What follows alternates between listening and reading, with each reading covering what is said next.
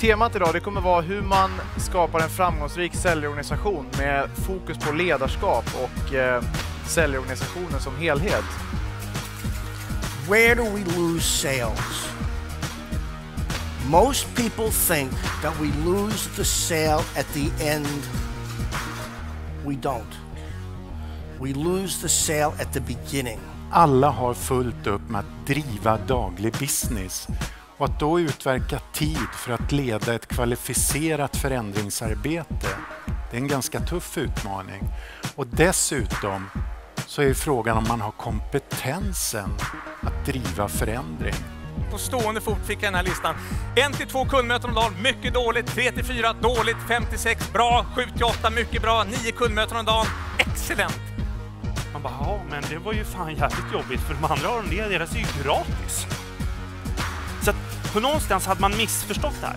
Men jag insåg att delight var någonting som jag var tvungen att lära mig. Och vad är då delight? I know some of you are in insurance and in finance and in mortgage, and it's difficult for you to prospect. Yet, if you don't reach out and if you don't find people to talk to, you'll have no customers.